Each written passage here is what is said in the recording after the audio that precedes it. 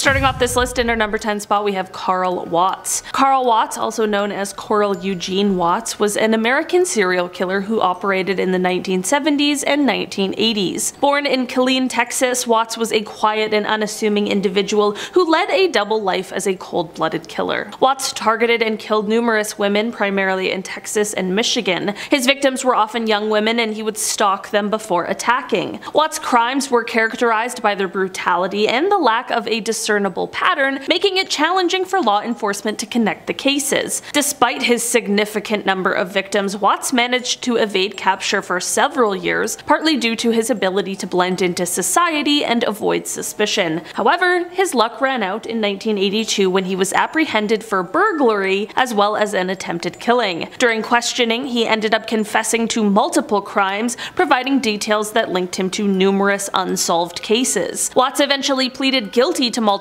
counts and received a lengthy prison sentence. His cooperation with authorities allowed them to close several cold cases and bring closure to the families of his victims. Watts died of prostate cancer while serving his sentence on September 21, 2007. Despite not achieving the same level of media coverage as some other infamous serial killers, Watts' actions left a trail of devastation and loss in the communities he targeted. In our number 9 spot today we have Johann Unterweger. Johann was an Austrian serial killer who terrorized Vienna in the 1990s. Johann's criminal activities first gained attention in the late 1970s when he was convicted for taking the life of a young woman and sentenced to life in prison. However, during his incarceration, he managed to project a very reformed image, becoming an accomplished writer and gaining support from intellectuals who believed he had been rehabilitated. Due to his literary talent and the perception of his redemption in a great miscarriage of justice, he was released on parole in 1990 after serving only 15 years of his life sentence. He soon became a media personality, presenting himself as a rehabilitated ex-convict and a crusader for the rights of prisoners. He even worked as a journalist and wrote articles on crime and rehabilitation, further enhancing his public image. However, beneath his charismatic persona, he harbored a dark and violent side. He began to commit heinous crimes again, committing a series of brutal killings that mirrored the style of his previous ones. Despite the gruesome nature of his crimes, Johann managed to evade suspicion for some time. He capitalized on his media connections to shape public opinion and divert attention from himself. However, his luck ran out when evidence linking him to the crimes started to mount. In 1992, he was arrested in Miami, Florida after being tracked down by Austrian and American authorities. He was extradited to Austria to stand trial for the killings of 11 women. The high-profile trial captivated the nation and received significant media coverage within Austria. The evidence against him was overwhelming, including witness testimonies, forensic evidence, and his own confessions. He was convicted and sentenced to life in prison without the possibility of parole. On June 29, 1994, Johann was found deceased in his prison cell, and it was later determined that he had taken his own life. In our number 8 spot today we have Anthony Sowell. Anthony Sowell was a notorious serial killer whose crimes shocked the city of Cleveland, Ohio from 2007 to 2009. Born on August 19, 1959 in East Cleveland, Sowell's criminal activities targeted vulnerable women, specifically those struggling with addiction and those involved in sex work. Sowell's crimes took place in and around his residence on Imperial Avenue, a seemingly ordinary house that hid a horrifying secret. He would lure his victims to his home under the pretense of offering them something to feed their addictions or shelter. Once inside, his horrifying crimes would unfold. The bodies of his victims were often hidden throughout the house, concealed in various locations, including crawl spaces and buried in the backyard. While these crimes were taking place, the local community was largely unaware of the extent of the crimes occurring in their midst. The victims, many of whom were marginalized and leading transient lives, were often overlooked by society. In October 2009, a courageous survivor managed to escape from Sowell's house and alerted the authorities. When the police executed a search warrant on Sowell's property, they made the horrifying discovery of decomposing bodies, leading to his immediate arrest. The case of Anthony Sowell garnered significant attention within the Cleveland community, where the shock and horror of the crimes reverberated. Local media covered the story extensively, focusing on the heinous nature of the crimes and the impact on the victims' families. However, the case did not receive as much national or international coverage as some other high-profile serial killer cases. During Sowell's trial, the prosecution presented a compelling case against him, supported by physical physical evidence, DNA matches, and the testimonies of survivors. In 2011, he was found guilty on 82 counts and was sentenced to death. In our number 7 spot today, we have Maury Travis. Maury Travis was an American serial killer who terrorized the St. Louis, Missouri area in the early 2000s. His heinous crimes targeted several women and he infamously recorded some of the crimes on videotape. In the early 2000s, Travis began a spree of violence that would claim the lives of multiple women, leaving a community on edge and law enforcement agencies frantically searching for answers. It is said that Travis would often lure the young women he targeted either to secluded areas or sometimes even to his own home. Despite the gravity of his actions, Maury Travis' case did not attract widespread media attention beyond the local region. However, the local community was acutely aware of the terror that Travis had unleashed upon their city. Law enforcement agencies diligently investigated the killings, piecing together evidence and connecting the dots to build a case against him. Ultimately, it was the discovery of Travis's collection of graphic and disturbing videos that provided critical evidence linking him to the crimes. On June 30th, 2002, faced with overwhelming evidence against him, Maury Travis took his own life in his jail cell. His death marked the end of a dark chapter in St. Louis's history, but the scars left by his actions remained. Although Maury Travis's case did not receive extensive media coverage outside of the local region, the impact of his crimes on the St. Louis community cannot be understated. In our number 6 spot today we have Kendall Francois. Kendall Francois was an American serial killer whose horrific crimes unfolded in the quiet city of Poughkeepsie, New York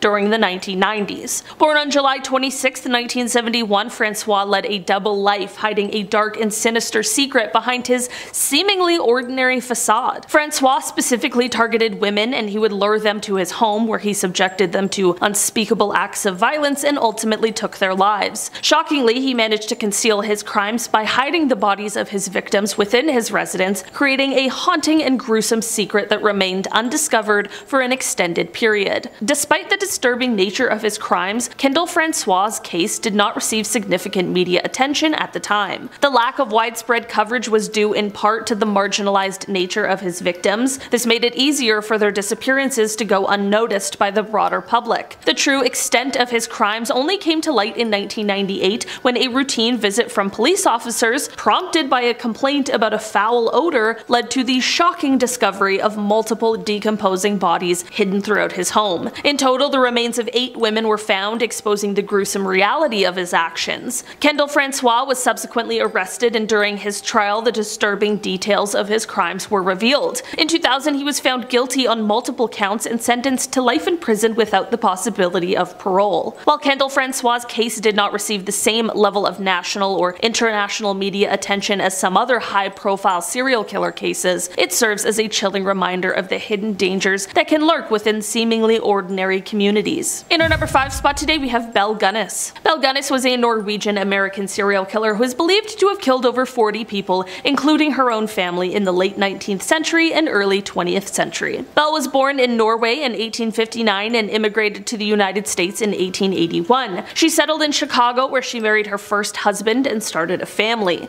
This was all fine and well until things soon took a turn. Belle began to collect life insurance policies on her family members, and if you're a true crime fan, you likely know where this is going. She then went on to eventually kill them in a fire. She then moved to LaPorte, Indiana, where she purchased a farm and continued to lure wealthy suitors to her property just to then kill them for their money and assets. She was known for her physical strength and was able to bury her victims' bodies on her property. Belle's crimes were discovered in 1908 when a fire destroyed her farm and the remains of several of her victims were found. We love when the villain is brought to justice, but unfortunately that did not happen here. Belle herself was never found, and it is believed that she may have faked her own death and fled the country. In our number 4 spot today we have Charles Schmid. Charles Schmid, infamously known as the Pied Piper of Tucson, was a figure of terror during the 1960s for his involvement in a string of brutal crimes that shook the city of Tucson, Arizona. Operating between 1964 and 1965, Schmid's first victim, Alleen Rowe, disappeared in the fall of 1964. Her disappearance sparked concern among her family and friends, but initially received limited attention from the media. As time went on, his violent tendencies escalated and his list of victims grew. The case gained some attention locally due to the disappearances and the growing sense of unease in Tucson. People were disturbed by the disappearances and the realization that a predator was lurking in in their midst. It wasn't until one of Schmid's acquaintances came forward with crucial information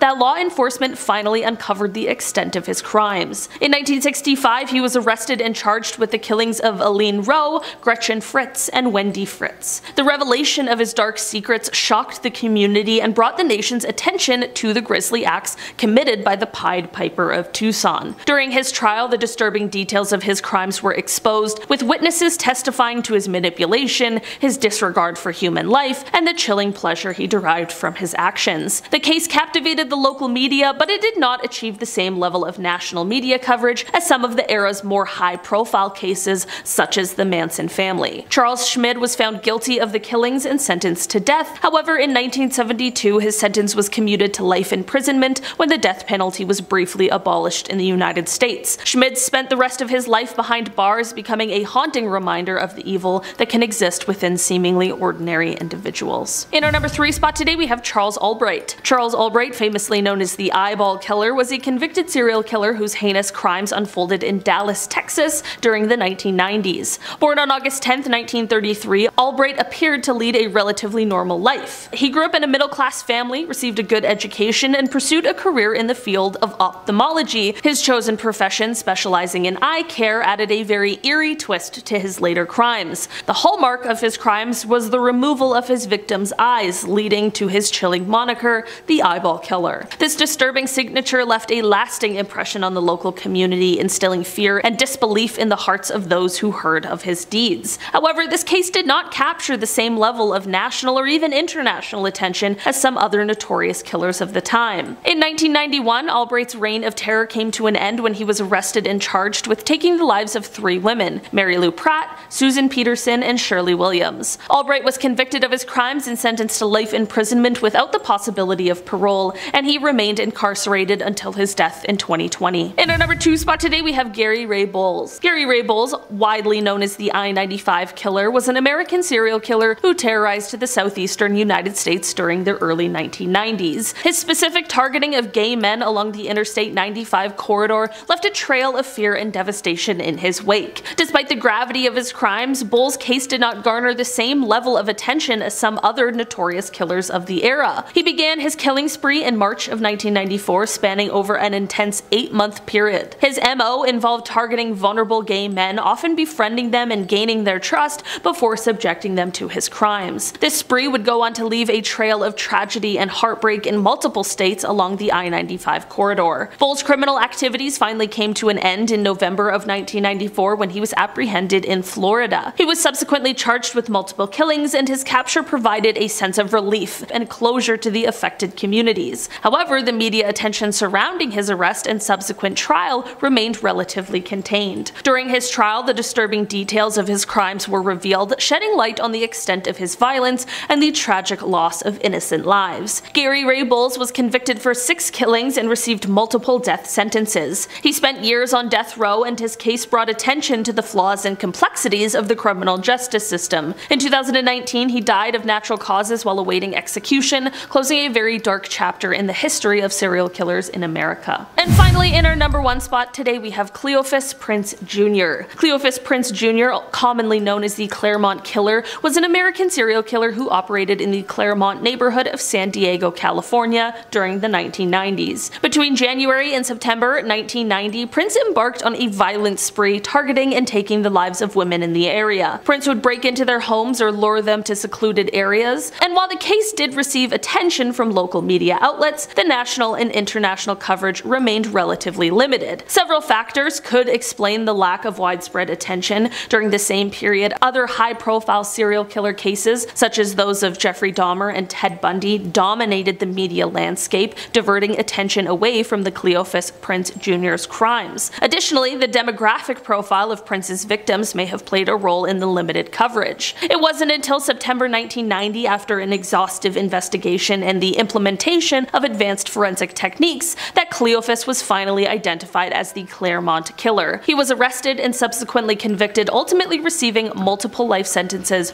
without the possibility of parole. Number 10. Maxim Petrov. Maxim Petrov was convicted for the ending of 11 people's lives in St. Petersburg between 1999 and 2000. Maxim, nicknamed Dr. Death by the Russian media, was a practicing doctor who targeted patients from a local health center, ending their lives by giving them lethal injections at their homes, then robbing them. All victims were included on the same list of lung patients who had undergone fluorography. Using this list, the police identified 72 possible future victims in an operation called Medbrat, male nurse, involving 700 police officers. They arrested Maxim when he visited one of the patients on January 17th in the year 2000. On his arrest, Maxim admitted to the deaths but recanted his confession a few months later, blaming it on the intense psychological pressure he had endured while in custody. Various possessions stolen from the victims were later found in his flat, though he had already sold others at the market. He was suspected of ending the lives of 19 people, but tried for just 17. In 2002, Maxim was found guilty of 11 and was sentenced to life imprisonment. Number 9. Luka Magnotta The name Luka Magnotta may sound familiar to some. Have you ever seen the Netflix documentary Don't F with Cats? Because if you have, this is where he's from. Luka took the life of Yun Lin, a university student in Montreal, Canada in May 2012. After Luka ended his life, he then began to mail Yun's body parts to schools and federal political party offices. Then a video depicting the crime was posted online and Luka fled Canada, becoming the subject of an Interpol red notice and prompting an international manhunt. In June 2012, he was arrested in an internet cafe in Berlin where he was caught googling himself. He also was previously sought out by animal rights groups for uploading videos of himself ending the lives of kittens. In December 2014, after 8 days of deliberations, a jury convicted him of his crime and was given a mandatory life sentence and 19 years for other charges to be served concurrently. He is currently at Port Cartier prison in Quebec. Number 8. Rosemary West Rosemary West collaborated with her husband Fred West in the torture and the ending of lives of at least 9 women between 1973 and 1987. Rosemary also ended the life of her stepdaughter Charmaine in 1971. After police found human remains and apparent signs of torture at 25 Cromwell Street, Rose along with Fred were arrested in February 1994. During her trial, Rose denied ending the lives of any of the victims. Rose told the jury that her husband committed the criminal acts alone and she denied participating. In 1995, Rose was sentenced to life in prison while her husband ended his life before going to trial. She was found guilty of all 10 counts and was sentenced to life imprisonment, and it was emphasized that she should never be paroled. The Lord Chief Justice later decided that she should spend at least 25 years in prison, but in July 1997, Home Secretary Jack Straw subjected Rose to live out the rest of her life in jail. She's currently being held at HM Prison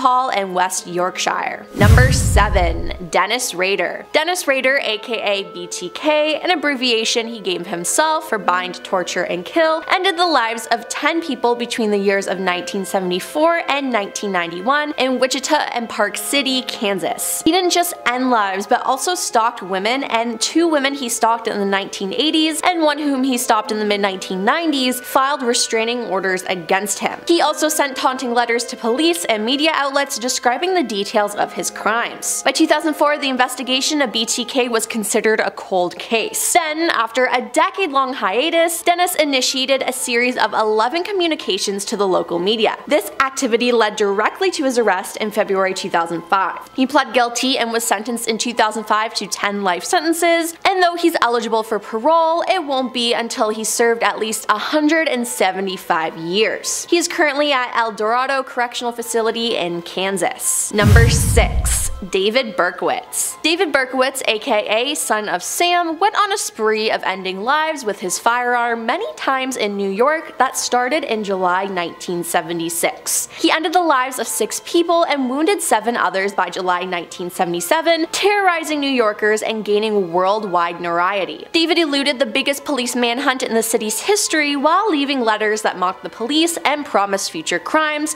which were highly publicized by the press. David was arrested on August 10, 1977 and subsequently indicted for eight crimes that ended lives. He confessed to all of them and initially claimed to have been obeying orders of a demon manifested in the form of a dog belonging to his neighbor, Sam. After being found mentally competent to stand stand trial, pleaded guilty, and was sentenced to six consecutive life sentences in state prison with the possibility of parole after 25 years. He then admitted that the dog and devil story was a hoax, which is shocking.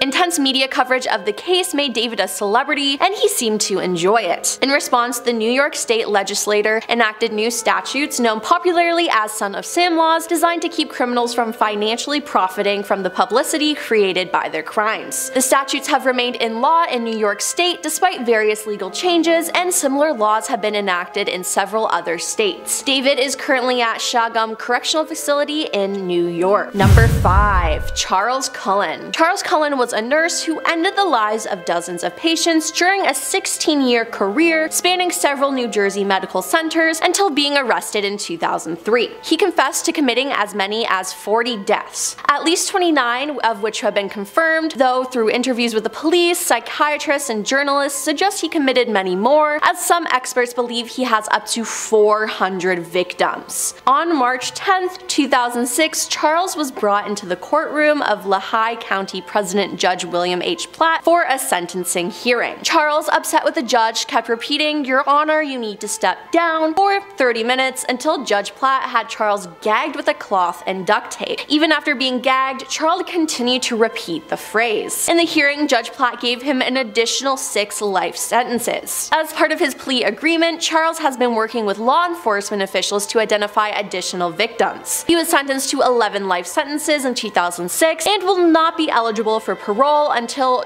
until 2403. He is currently located at New Jersey State Prison in New Jersey. Number 4. Paul Bernardo Paul Bernardo committed crimes together with his former wife Karla Homolka, who were nicknamed the Ken and Barbie Killers. He is known initially for taking advantage of people in Scarborough, Ontario, a suburb of Toronto, between 1987 and 1990, before ending the lives of three women with Karla. Among those victims was Karla's younger sister, Tammy Homolka. Karla took a plea bargain of 12 years imprisonment and she began giving statements to investigators. She told police that Paul had boasted that he had taken advantage of as many as 30 women, twice as many as the police suspected. This plea bargain caused a lot of outrage and was seen as controversial. Karla was released from prison in 2005 and she settled in Quebec where she married the brother of her lawyer, where she's rumored to still be today. But now after Paul's capture and conviction, he was sentenced to life imprisonment and was later declared a dangerous offender, thus making it unlikely that he will ever be released from prison. Following his conviction, Paul confessed to taking advantage of 10 more victims, and he is currently being held at Millhaven Institution in Ontario, Canada. Number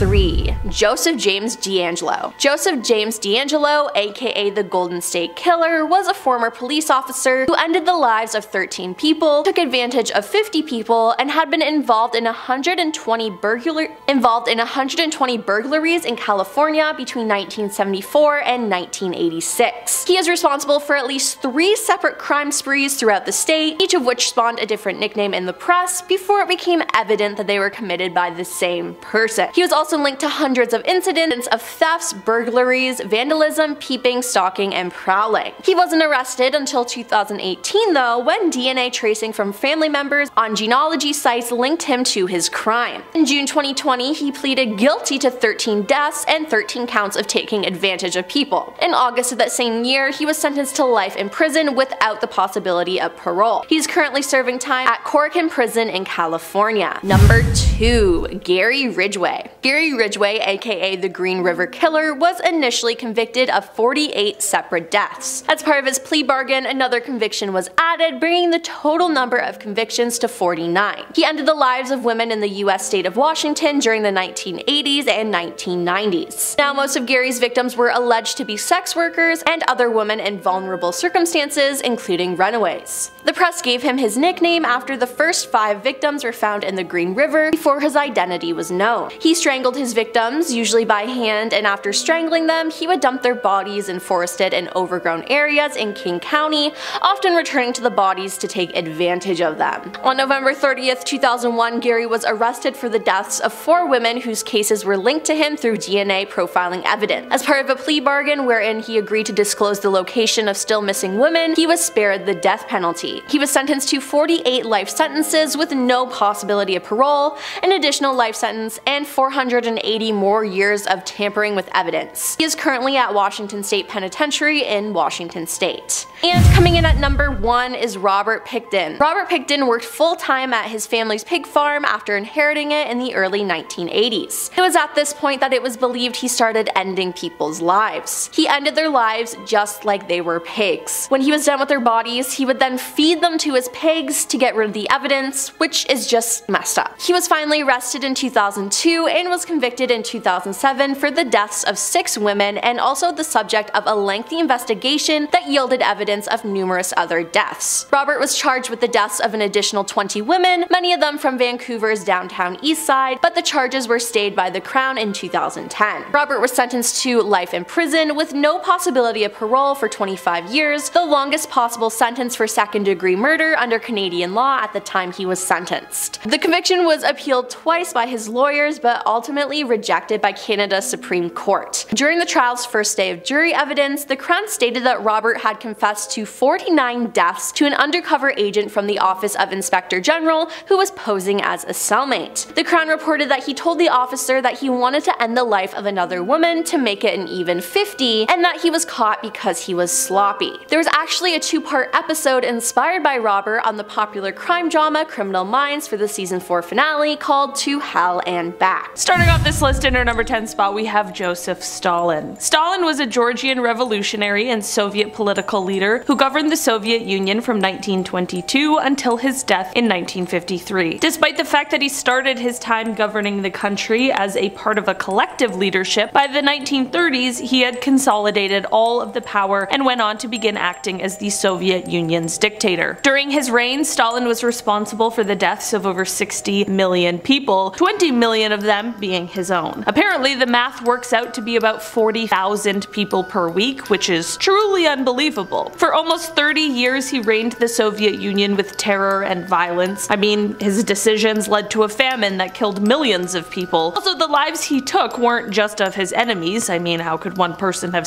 60 million enemies? He would take the lives of the families of people he liked. He just took too many lives. He was too paranoid, and while he was powerful and smart, he could also be an absolute monster. This is all perfectly summed up when he said, quote, one death is a tragedy, a million deaths is simply a statistic. In our number 9 spot today we have Pol Pot. Pol Pot was the leader of the Cambodian revolutionary group called the Khmer Rouge, and this group with him at the forefront went on to try and destroy Cambodian civilization. This wasn't necessarily how the group started out, but once Paul and others who shared his ideals came to lead it, things quickly became dark. He is likely one of the only people who ordered a mass genocide in his own country. The reasoning behind all of this is because he believed that destroying the civilization was the best way to start a new regime and bring in a new age. He ended up serving as the prime minister from 1976 until 1979, during which his policies led to the deaths of around 2 million people, which is absolutely horrifying. That was about 25% of the entire population. He even liked to keep the skulls of those he had killed. Just gonna say it, it seems as though politics was the mask for someone who just really wanted to kill. There are so many horrific details surrounding him and the things he did, some of which I can't even repeat here on YouTube, and that is exactly how he landed a spot here on today's list. He truly did some horrendous things and in the end went on to live the rest of his life and died of natural causes before he could answer for any of his crimes. In our number 8 spot today we have Heinrich Himmler. Alright, so this is one real piece of work who was very active on what we'll call the bad team during World War II. He's actually one of those people who really helped to create and build the Holocaust. He was the head of the SS and he controlled concentration camps and you want to know what he was best known for? His organizational skills and for picking the best subordinate. Yeah, they liked him because he was able to pick the other best worst people ever to work with him. Absolutely insane. They say opposites attract, but in this case it was just terrible people joining other terrible people. He believed that certain groups of people, like Jewish people, were unworthy of living, and he himself ordered the deaths of 6 million. It is completely unimaginable just how evil this person really was. This hasn't exactly been verified, but it's something that has been said for years, and that is that he had furniture made from the skins and bones of these people. In the end, because he was nothing but a coward when things for him and his party started to go south, he tried to have open peace talks with the Western allies behind behind the back of you know who. Of course, he found out and had Himmler dismissed from all of his posts and ordered his arrest. This led Himmler to trying to go into hiding,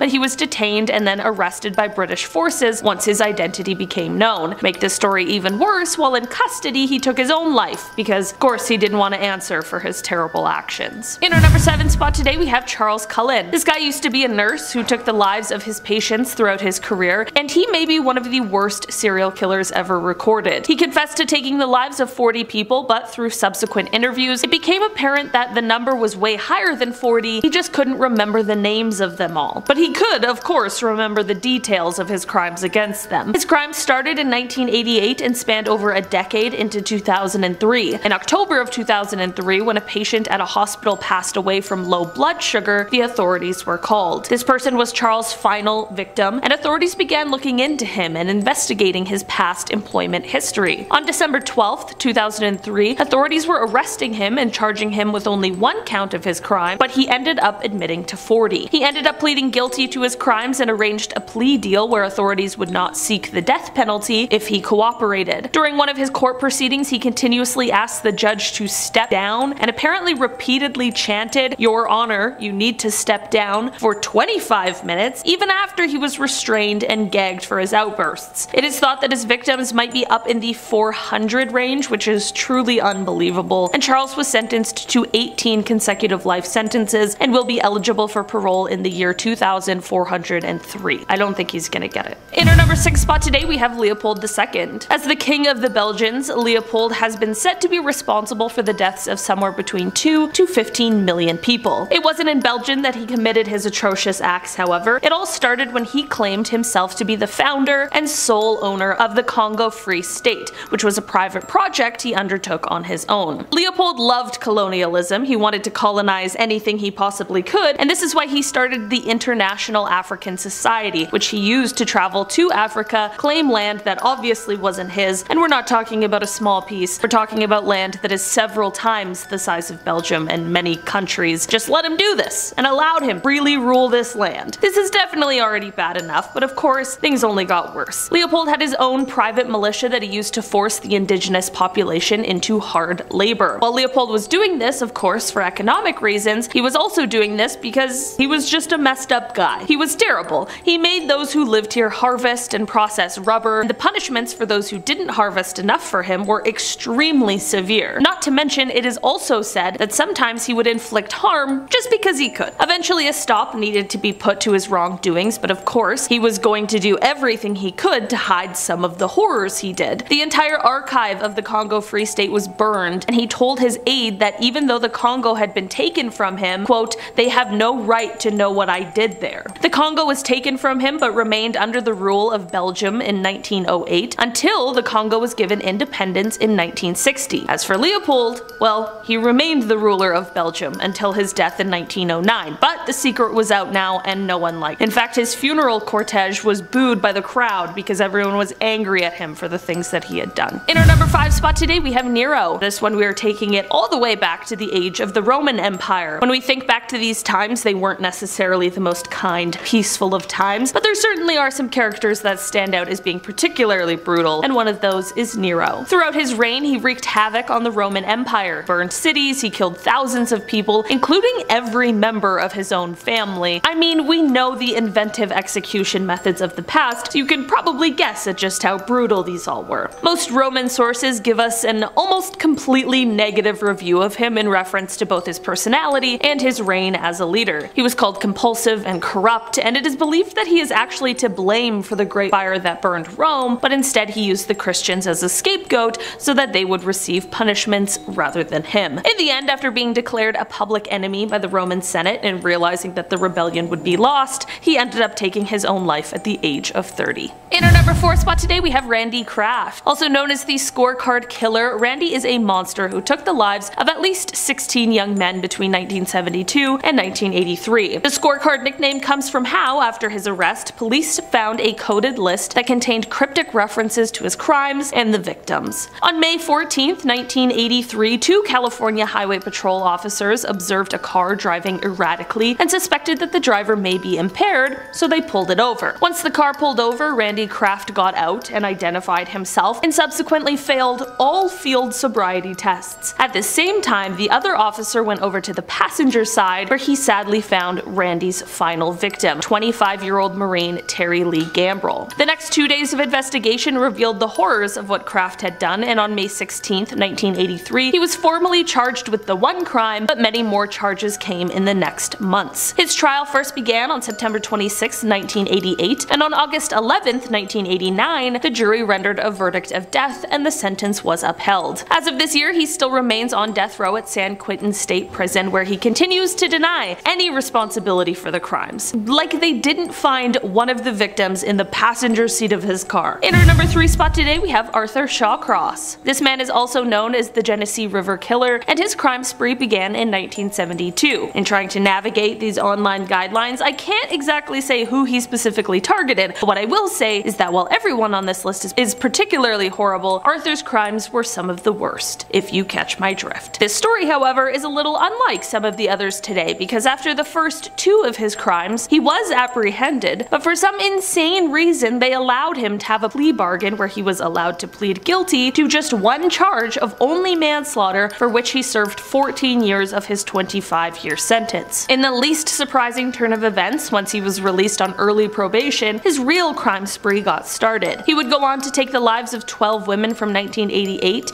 1989. Thankfully, he was finally caught for these crimes and sent right back to prison. Of course, his initial early release was the subject of huge controversy, rightfully so, and Dr. Michael H. Stone, professor of psychiatry at Columbia University, called this early release, quote, one of the most egregious examples of the unwarranted release of a prisoner. In the end, Arthur passed away in prison while serving a 250 year sentence. He passed in 2008 after suffering a heart attack. In our number 2 spot today we have Ivan IV, more commonly known as Ivan the Terrible. He was the son of Vasily III, who was the Rurikid ruler of the Grand Duchy of Moscow. After his father's death, however, at just 3 years old, Ivan was named the Grand Prince, and by the time he was 16, he was declared as Tsar or Emperor of Russia, officially establishing the Tsardom of Russia. Ivan and his reign are certainly known for the transformation of Russia from a medieval state to an empire, but not without a huge cost to the people of Russia as well as a hit to the long-term economy. Ivan has been described as being intelligent and devout, but also prone to paranoia, rage, and episodic outbreaks of mental instability that only increased the older he got. One of the main points of extreme violence and viciousness was the massacre of Novgorod, which saw the deaths of an estimated 2,000 to 15,000 people, as well as a shocking amount of acts of extreme violent cruelty. In the later years, like I mentioned, his violent tendencies only got worse, which led to him doing things like striking his heir in the heat of an argument so badly it left him with brain damage. In the end, Ivan the Terrible met his demise from a heart attack in 1584. Yeah, they say that impaling hundreds of people every day isn't great for the heart health. Finally, in our number one spot today we have Charles Manson. I will start the story of Charles Manson with when he was released from prison in 1967. After his release, he then moved to San Francisco where he gained a small following that would eventually go on to be the cult known as The Family.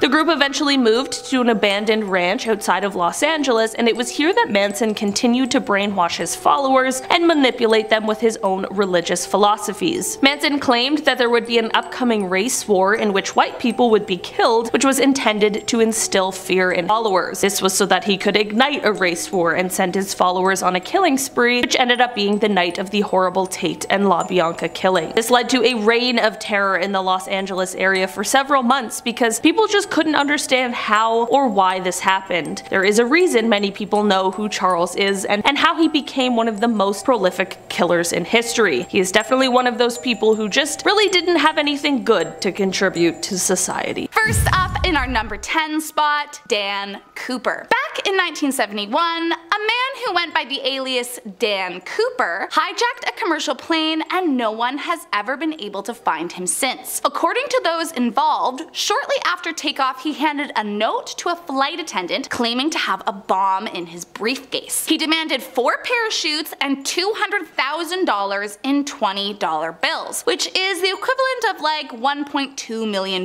nowadays. Otherwise, he was going to everyone on the plane. After the flight landed in Seattle, Cooper released the 36 passengers once authorities provided him with the money and the parachutes. But he kept both pilots, one flight attendant, and one flight engineer as hostages on the plane. From there, he forced them to fly to Mexico City, but somewhere over Nevada, Cooper jumped off the plane with the stolen cash. The FBI launched a massive search that is still considered one of the longest and most exhaustive investigations in FBI history. But have yet to find him. And although he isn't on the top 10 list anymore, he is still considered a wanted fugitive. Before we dive into the next 9 points in today's video, I just want to give a huge shout out to today's sponsor, Raid Shadow Legends. Man oh man is this game blowing up everywhere, and for good reason too. It's quite literally the first phone game that delivers the same high quality experience you get on a console, plus it's completely free. Raid has endless content so you'll never get bored. With over 650 unique champions to collect, it's hard to narrow it down to my faves, but I'm gonna try for you today. First up, I picked Tuhok the Wanderer. This beast is a Void Affinity epic from the Orc faction, and not only can he hit hard, but he attacks enemies two times and can also decrease the speed of your enemies. So what's new this month? Well, speaking of champions, Raid is running an extra special legendary champion based off of MMA and Pro Legend Ronda Rousey that you can get for free whether you are a new or longtime player. All you have to do is log into Raid and play for 7 days between now and February 20th and Ronda will be all yours. To celebrate Ronda's arrival, you can also use this special promo code RAID Ronda to get a bunch of helpful stuff like a 3-day 100% XP boost, 500,000 silver, and even 5 full energy refills. I mean the perks just keep coming. But wait, there's more! As it is this season after all, Raid has prepared an extra special 12 days of Raid for new players this Christmas. Just download Raid Shadow Legend from the link below and head over to 12daysofraid.plarium.com between now and January 10th to get started. From there you'll enter your player ID and set out on a festive 12 day adventure where each day you'll get to experience a new chapter and play a new mini game for a chance to win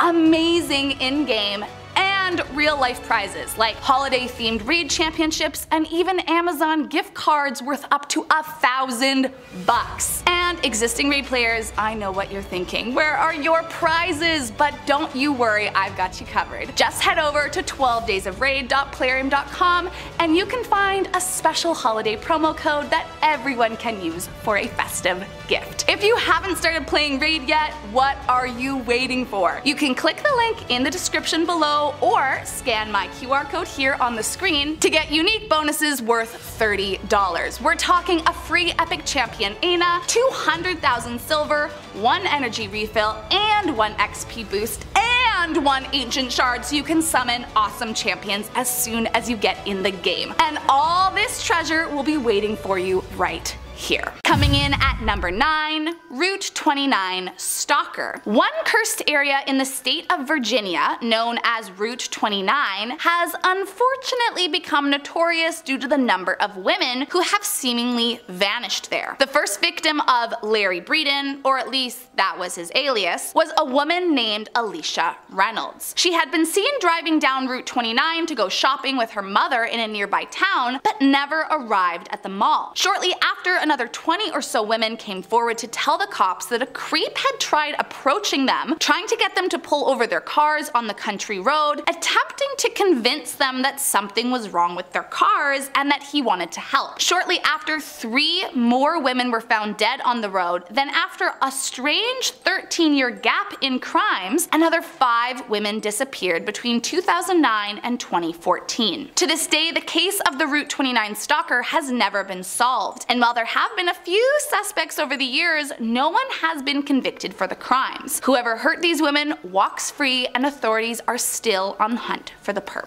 Next up at number 8, Bhadreshkumar Patel. Wanted by the FBI since 2015, Patel could be hiding anywhere. His arrest came, as I said, back in 2015 when he was charged for taking his wife's life. Allegedly, the perp struck her multiple times with a kitchen utensil while the two were working at a donut donut shop, and then cameras caught him fleeing the scene after the incident. His charges are currently first and second degree first and second degree assault and a dangerous weapon with intent to injure. The FBI has reason to believe he's fled the country as apparently his visa expired right before he killed his wife, and there is currently a $100,000 price on his head for anyone with information to his whereabouts. Let's just hope they find him soon. Coming in at number 7, Arnaldo Jimenez. Most people have a romantic honeymoon, at least that's sort of the assumption. But Mr. Arnaldo Jimenez here seemed to have a different plan in mind. Back in 2012, the day after marrying his wife, who, to make matters worse, he already had a family with, Jimenez took her out with some friends to a club. Apparently the couple left around 4am from the club and from there, for whatever reason, Jimenez took her life. His wife was to death in the back of his car before being dragged into the bathroom tub of her apartment and abandoned. Obviously, this creep was charged and a warrant went out for his arrest, and although authorities have reason to believe he may have fled back to Mexico, they haven't actually been able to track him down. To this day, he remains on the FBI's most wanted with a $100,000 reward for his capture. Next up at number 6, Ruja Ignatova. Maybe it's just me, but a lot of the time when you hear con artists, you tend to think like a slimy person preying on the old and vulnerable through some weird email contest or something. But Ignatova had a different kind of clientele base she was looking to rip off. Investors. Currently wanted for participation in a large-scale fraud scheme that involved her defrauding billions of dollars from investors all over the world, Ignatova began her Ponzi scheme back in 2014. It all started with her MLM called BigCoin, but from there she moved on to bigger names with deeper pockets. In 2014, she founded OneCoin Limited, which was a Bulgaria-based company that marketed cryptocurrency. But behind the scenes, she was making false statements about the company in order to solicit investments. Later in 2019, her brother came forward admitting it was a money laundering front, but by then, Ignatova had already disappeared. Allegedly, during its active years, OneCoin is believed to have defrauded victims out of more than $4 billion dollars. And not only is she on the FBI's most wanted, but she made her way onto the Interpol's most wanted and has a price on her head for anyone with more information. Coming in at number 5, Alejandro Castillo. Once again, another one of the FBI's most wanted, this criminal has been hiding out since 2016. Six years ago, Castillo texted his coworker Sandy Lee, who apparently he had briefly dated prior, saying that he wanted to repay her the money she had loaned him. So under the guise of getting her money back, Lee agreed to meet up with him. But here's where it gets twisty. Castillo had a new girlfriend at the time named Amia Feaster, and the afternoon of the incident he was picked up by her and she drove the pair to the meetup. Although the full details of the crimes aren't confirmed, it's believed Castillo, instead of giving Lee her money back, held her at gunpoint while forcing her to withdraw all the money she had from a nearby ATM, which was about $1,000. Investigators think Castillo then drove Lee into the woods and took her life before dumping the body into a ravine. From there, Castillo and his current girlfriend Feaster fled in his Toyota Corolla to Mexico. Since then, he hasn't been seen, but his girlfriend turned herself in in 2016, confirming they'd been living with Castillo's cousins when they were in hiding. The FBI hasn't been able to track him down just yet, but they do think he remains in Mexico to this day. Jose Rodolfo Villarreal Hernandez, also sometimes referred to as El Gato, this criminal is one of the newer additions to the FBI's most wanted list, having been just added two years ago in 2020. But he may be one of the scarier ones yet. A warrant for his arrest was issued back in June of 2018 when El Gato was accused of having involvement with interstate stalking as well as hiring two men to assassinate a man named Guerrero back in 2013. Allegedly, the two men hired to track down Guerrero and his wife attempted to shoot them down. Guerrero unfortunately did not make it past the attack, but luckily his wife escaped unharmed. The craziest part of all of this is that allegedly Guerrero's sister, after the attack, took revenge on El Gato by having one of his relatives beheaded, which to me sounds like they might have pissed off the wrong people. Currently, the FBI is not sure exactly where El Gato is hiding, but the search continues with a million dollars being the price for anyone who's able to track him down. Next up at number 3, Eugene K. Palmer. Back in 2012, Eugene Palmer was the neighbor to his son and daughter-in-law John and Tammy Palmer. Now, not only was Eugene their neighbor, but he also owned the property that the couple and their family lived on. After some time together, John and Tammy's relationship started to go south. And after the pair separated and began seeing other people, Tammy issued a restraining order against her ex, John. On top of the restraining order, Tammy threatened divorce and to sue for the land belonging to Eugene. And all of this began quite the feud between the two. A few days later, Tammy and Eugene had a very heated argument, and then on September 24th, 2012, Eugene took her life. Allegedly, he shot her three times before fleeing the scene in his pickup truck, which was later found abandoned near a park. Now, Eugene was quite the woodsman, so it's believed he fled into the woods, and despite multiple searches, he has never been found. Coming in at number 2, Hazel Leota Head. Back in 1998, under the false name of Deanna Ray, Head conned her way into the heart of an old widower named James Barker. Now, according to the authorities, Head was a drifter who hitchhiked around the country looking for lonely men to latch onto so she could drain their bank accounts before abandoning them high and dry. Charles Barker was a depressed and lonely man after losing his wife, and when he met Deanna, he immediately fell smitten with the con artist. After only days of meeting each other, she moved in, and when his family met her, they had a strange suspicion that something about her wasn't right. After after some time, Charles too began to think something with his new girlfriend was off, but he never shared any of the details with his family. Then one day, after not hearing from her father for nearly a week, his daughter called up her aunt, Charles' sister, asking if she could go check up on him and make sure that he was okay. When his sister arrived, she saw that the door was open and she ran inside to find Charles Barker dead, slumped over a bar. Once police arrived, they discovered he'd been dead for five days. And Hazel, or Deanna as she called herself, was missing along with Charles's car and money. The car was found later at an airport and after running a background check it was revealed she had pulled this same stunt 10 times before. She remains missing but authorities have not stopped trying to track her down and arrest her for good. And last up in our number one spot, Michael James Pratt. Currently on the FBI's top 10 most wanted, there is no doubt in my my mind that this monster is the worst on this list. Between approximately 2012 to 2019, Michael Pratt along with a few accomplices was involved in recruiting under girls to be a part of an adult film production company that he owned and operated. Pratt lured the girls under a Craigslist ad asking for models and from there he promised payment in exchange for a clothed modeling gig. But sadly this couldn't have been further from what he had planned for the victims. Beyond the obviously morally despicable stuff they were making these minors do, he would also force past victims into providing false assurance to the girls that their films would never end up online Allegedly, some of the victims were not permitted to leave shooting locations until the shoot was complete. Others were forced to perform after declining participation, and the crew was known to commit SA when the girls wouldn't comply. After fleeing the country in 2019, right before his trial for his crimes, he was added to the FBI list and the search for this creep continues. Starting off this list in our number 10 spot, we have Scott Erskine. We are starting off this list with truly one of the worst people I've ever heard about. Scott's story starts off when he was a child and suffered an injury that involved his head and brain. He seemed to recover fine physically, but continued to complain of headaches and that sort of thing, and it is unclear if these things were ever looked into further. At a very young age, he began to commit violent crimes against others that I truly cannot even speak about here on YouTube. He spent four years in prison for one of his crimes when he was around 17 years old, but when he was paroled after the four years, he immediately began committing crimes again. In 1993, Scott invited a woman who was waiting for the bus into his home and ended up holding her hostage for several days. After letting her go, he was quickly arrested and ended up being sentenced to 70 years in prison.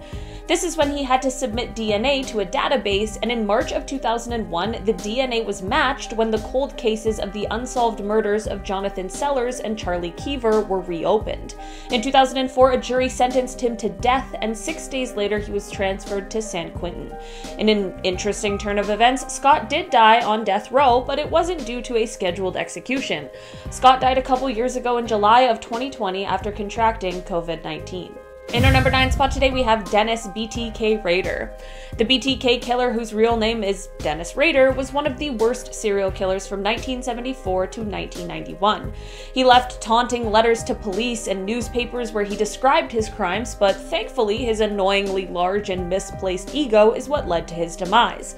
Because he craved the attention so badly, in 2004 he started communicating with the media again to try and be all smug or whatever, but this combined with his utter lack of knowledge on how technology works, led to him being arrested in 2005. Imagine getting away with those crimes for so long and your ego and your own ignorance does you in in the end. During his trial, he didn't apologize for his crimes, but he did describe them in full detail, which is horrifying and honestly very unnerving. After his trial, he ended up being sentenced to 10 consecutive life sentences with a minimum of 175 years. When Rader was first arrested and police were taking him to the station, an officer asked him, Mr. Rader, do you know why you're going downtown? To which he replied, Oh, I have suspicions why. Ew.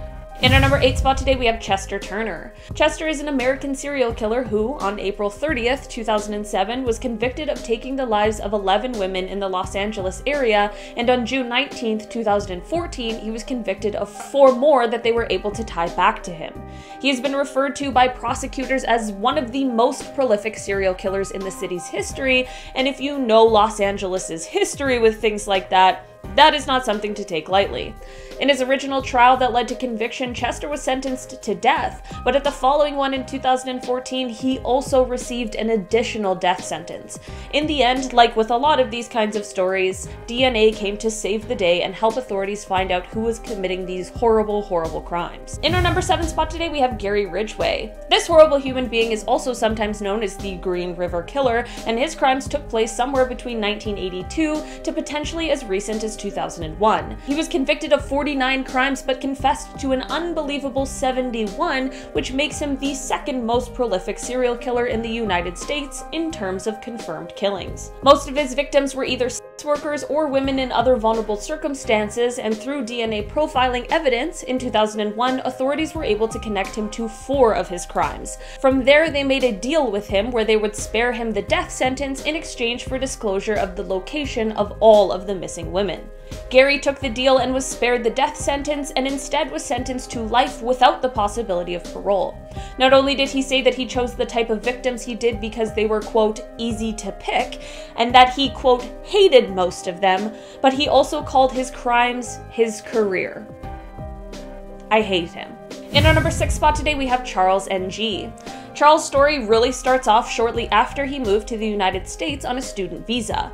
He dropped out after his first semester, and soon after, he was involved in a hit and run accident. He then tried to avoid prosecution by enlisting in the United States Marine Corps using false documents that stated his birthplace was within the United States. He was arrested by military police a year later for stealing automatic weapons, and then somehow he escaped custody, headed back towards Northern California, and this is where he met Leonard Lake, who is another real piece of work.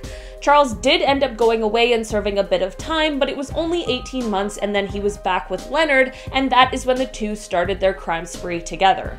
It is believed that together the pair took the lives of somewhere from 11 to 25 different people.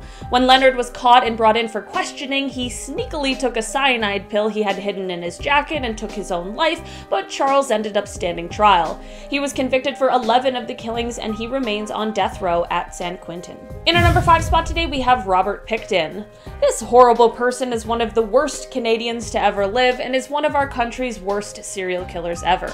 Pickton dropped out of school and began working at his family's pig farm, and this is where most of his absolutely horrific crimes took place. He was first arrested in 2002 and was convicted in 2007 of taking the lives of six people, but throughout an extremely lengthy investigation, evidence of many more killings came to light.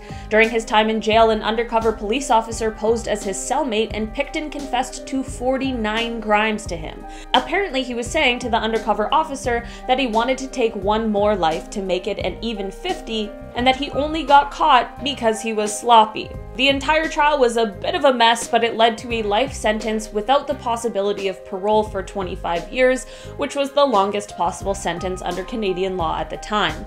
This unfortunately does mean that he will be eligible for parole within the next decade, so let's hope that never ever happens. In our number 4 spot today, we have the Golden State Killer. The Golden State Killer is one of the most well known serial killers ever, and that is never a good thing.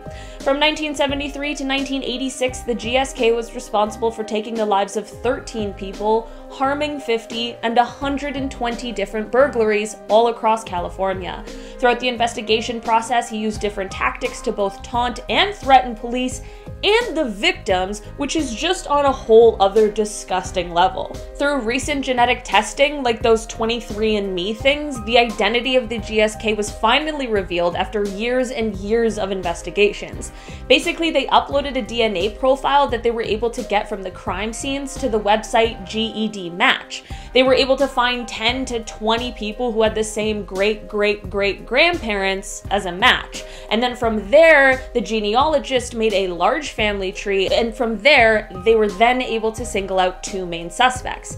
After covertly collecting DNA samples from one of the suspects and comparing them with the crime scene DNA, they were finally able to arrest Joseph James DeAngelo, who is the Golden State Killer. After decades of waiting, the victims of his crimes were finally able to see justice served as he was sentenced to 12 life sentences plus eight years. He was spared the death penalty because he admitted to numerous crimes that he had perpetrated, some of which he wasn't even being charged for. He is now 75 years old and will definitely spend the rest of his life in prison. In our number three spot today, we have Rodney Alcala. Rodney is a horrible monster who was convicted and sentenced to death for five killings that he committed in California from 1977 to 1979. He also received an additional 25 years to life after pleading guilty to two other killings in New York from 1971 to 1977. Rodney got away with his crimes for a while because he wasn't the top of the list of suspects because he was said to be the quote charming photographer. Rodney is often referred to as the dating game killer because of his appearance on the show, which, with what we now know about him, is absolutely horrifying. What's even crazier is that he actually won the show he was on, but the episode's bachelorette refused to go on a date with him because she found him, quote, creepy. This is just a reminder to always trust your instincts. It isn't exactly known just how many victims Rodney had. It is potentially thought that it could be much higher than the number he was convicted for. In July of last year, Rodney passed away in prison at the age of 77. In our number two spot today, we have the Zodiac Killer. This one had to make it on this list today because while there are a plethora of terrifying people on this list, nothing is as terrifying as an uncaught serial killer, and the Zodiac is definitely the most prolific of them all. The Zodiac Killer took the lives of five people in the San Francisco Bay Area between December 1968 and October 1969. He was most known for targeting young couples or a lone male cab driver. Despite two people luckily and thankfully escaping his attempted evil doings, he has still never been caught. He was one of those losers who left notes and stuff for the police to find. I like that they think they're being all cool and clever and brave while they do that. Like, if you're so brave and almighty and unafraid, then show us your face. While no one has heard from the Zodiac since 1974, the case remains active in many different countries, and maybe one day we'll finally know who the real Zodiac is. In our number one spot today, we have Robert Hansen. Robert is often referred to as the Butcher Baker, and his story truly is horrific. He is one of the most prolific serial killers in Alaska's history because, for over a decade, he would kidnap women and bring them into the wilderness where he would then stalk them like prey. I am just now realizing that there is definitely an episode of Criminal Minds about this guy. Sometimes the premise is just so dark that it sticks with you. The reason he got away with his crimes for so long is because outside of these horrific things, he was just a soft spoken baker. One of my best friends has the nicest, most kind bakers for parents, and now I'm starting to feel a little suspicious. Might want to look into them, Robin. Robert was heading to church by day and prowling strip clubs at night looking for the next person to take. What led to the downfall of this horrible monster was a badass named Cindy Paulson who was able to escape from Robert and was sure to leave evidence behind. She then went to authorities and told them what happened, and this led to a search warrant for Robert's property, which is where all the evidence they needed lied. Robert is believed to have taken the lives of at least 17 women, and in 1983 he was sentenced to 461 years and a life sentence without the possibility of parole. That being said, number 10 is Jeffrey Dahmer. Now you knew that we would be talking about this when you clicked on this video. Dahmer, Monster the Jeffrey Dahmer story is blowing up right now. Its first episode has some people so tense and terrified they could not even continue watching. Unlike a lot of cinematic tellings of serial killer stories, Dahmer puts you on the outside and in the point of view of the victims of this incredibly ruthless killer. It really makes you feel for just how tragic the whole thing really was, connecting you to the victims before they are snatched away, essentially making you hate this incredibly deranged man, not to mention making you feel the sense of dread and the horror that being around this monster instilled in those involved. Number 9. The Public this one is more interesting because while the story does follow a real homicide case, the falsely accused Amanda Knox is where it is focused. While on a foreign exchange trip from the United States to Perugia, Italy, Amanda Knox, a college student, was accused of brutally taking the life of her roommate Meredith Kercher. Knox became a media sensation in all the worst ways, with tabloids painting her as evil and twisted while she served almost four years in an Italian prison before Italy's highest court exonerated her in 2015. The Netflix documentary surrounding her shows the truth of Meredith's passing while also exposing just how the public's reaction to what the media fed them caused Amanda to be treated like a monster. If you guys are finding any of this interesting so far, even in the slightest, make sure to hit that like button. It really helps us gauge exactly what kind of content you guys want to see. And in at number 8 is Larry Nassar. Not all monsters end people's lives. The Netflix documentary Athlete A follows a team of investigative journalists from the Indianapolis Star who broke the story of USA Gymnastic doctor Larry Nassar, who used his employment as the team's doctor to exploit, deceive, and violate hundreds of young women. The documentary also follows the survivors of the doctor's horrible ways. The interviews with the athletes as well as the journalists who exposed it all also shines a light on just how the USAG covered up Larry Nassar's actions for years. Number 7. Luke Magnotta. If you guys are a fan of true crime documentaries, then I would be surprised if you had never heard of Don't F with Cats. Basically, back in 2010, an incredibly disturbing video of a man taking the life of two kittens emerged online, causing quite a bit of grief for the people who saw it. But it was not the last video to emerge. As the crimes committed in the videos escalated, beginning to include actual people, a group of individuals online formed together to track down just who exactly the man in the video was. After a ton of very intuitive internet sleuthing, their manhunt led them and the police to Luke Magnotta, who was later convicted for taking the life of Chinese international student Jun Lin in disturbing circumstances in 2012. But just be warned, I'm serious when I say the documentary is disturbing. Number 6. Warren Jeffs the docu-series Keep Sweet, Pray, and Obey dives into the Fundamentalist Church of Jesus Christ of Latter-day Saints, or the FLDS. The FLDS is an extremist offshoot of mainstream Mormonism led by Warren Jeffs. It's revealed that using the ideals of his church, Warren would coerce and force female members of the congregation, most of which were underage, into polyamorous marriage, blind obedience, and extreme isolation from the outside world. He was sentenced to life in prison plus 20 years for violating many of his 482 victims, including his 78 wives. If cults are your true crime thing, this is certainly an interesting watch. It does leave you feeling worried about how something like this could ever actually happen. Number 5. Richard Ramirez Richard Ramirez was a serial killer in San Francisco and the area surrounding it between June 1984 and August 1985. He had a particularly brutal and very chilling MO, which included breaking and entering, which gave him the nicknames of the Walk-In Killer and the Valley Intruder. The Netflix documentary Night Stalker, named after his most famous nickname, follows the manhunt and investigation that led to the arrest of this brutal killer and his tragic victims. It's a bone-chilling story that will leave you feeling unsafe even while you're sitting in the comfort of your own home. Number 4 roommates. This one is going to be on a very slightly lighter note than most of these other ones, but only slightly as the stories told in the five part aptly named Worst Roommate Ever series vary from story to story, mostly all told with the help of animation. One story could cover a violent con artist or relentless squatter, while others do indeed include killers and their crimes, and they are all told with a focus on the victims or witnesses who dealt with these truly terrifying roommates It's all interesting and all injects a jolt of fear that makes you second guess whoever you decide to share your living space with, if you even have the privilege to choose that in the first place. Number 3. Hunter Moore. This is a different kind of terrifying.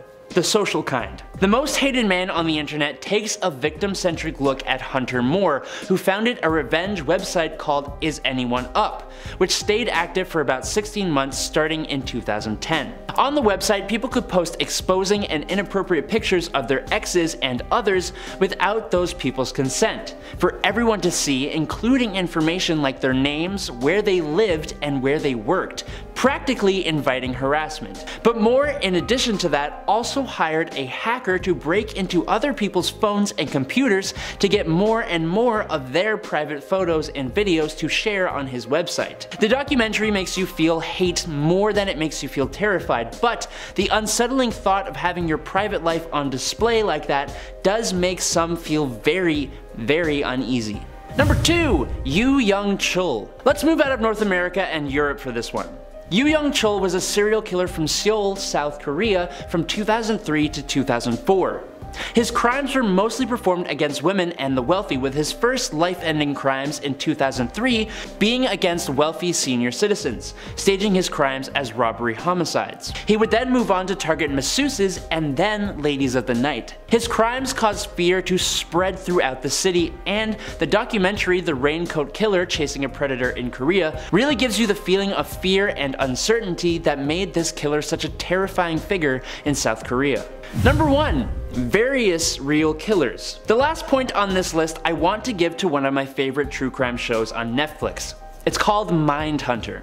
Now while the show follows a fictional character named Holden Ford, he is based on John E. Douglas, who redefined homicide investigations thanks to information that he learned from interviews with famous serial killers like David Berkowitz, John Wayne Gacy, Charles Manson, Richard Speck, and Edmund Kemper, all of whom are featured in the show played incredibly well by various really well cast actors. Watching Holden do the same work as an agent in the FBI's behavioral sciences unit is a really really interesting and sometimes terrifying dive into a world a lot of us just never see. Starting us off at number 10 is Jane Toppan. Likely responsible for nearly 31 deaths, Jane, or Jolly Jane as she's often referred to, had a very unique motive. To have more people helpless people than any other man or woman who ever lived. She came from a very abusive household and after her mother's death, she and her sisters were given up to an orphanage. Now not much is known about what went on during her time there, but just two years after she was admitted, she was hired as a servant for a family in Massachusetts. As an adult, Jane began studying nursing and was well liked as a hospital, but soon she began fixating on elderly and sick patients and began using them as test subjects for morphine and atropine atropine injections as she was interested in what it would do to their nervous systems. Upon her arrest, she was coined an angel of death, as she reported that she would poison her victims before laying down with them and fondling their helpless bodies until they passed. She said she derived pleasure from the patients on the brink of death and felt as though she could see the inner workings of their souls through their eyes. Although at first her victims were elderly and sick, she began to poison more recklessly,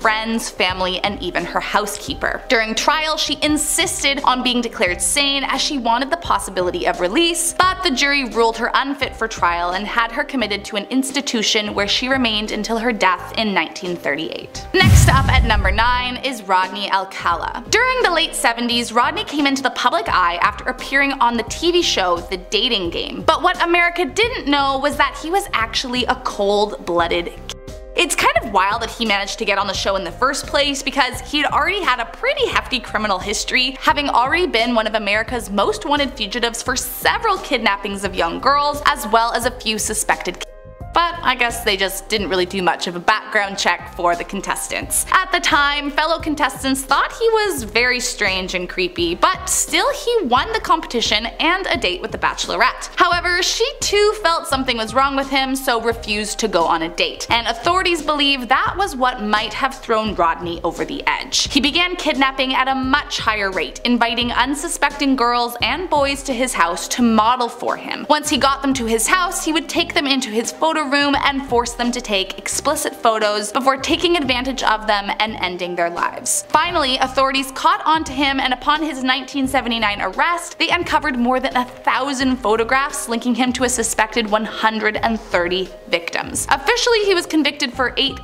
and sentenced to death, but died of natural causes before the day came. Next up at number 8 is Albert Fish. Also known as the Brooklyn Vampire, Albert Fish was a terrifying responsible for the death of three people in the mid 1920s, although according to him it was well over a hundred. Fish grew up in an unstable home. Both his parents suffered from mental illness, and after his father died he was sent to live in an orphanage. While there he was abused by the other orphans, but he started to develop a rather confusing feeling towards the pain. He began to enjoy it. As Fish got older he started seeking darker and more twisted things to feel alive, and soon that led to the kidnapping kidnapping, taking advantage of, and subsequent devouring of Thankfully, the monster was caught in 1935, and shockingly, he wasted no time denying his atrocities. In fact, he almost seemed proud of them. I can't and frankly won't go into detail about what he did, but it is some of the most disgusting stuff I've ever read about. Eventually Fish was sentenced to death and died by electric chair in 1936, and after his death his lawyer refused to release his statement saying, I will never show it to anyone. It was the most filthy string of obscenities that I have ever read. Next up at number 7 is Robert Hansen. Known in the media as the Butcher Baker, Hansen was an extremely sick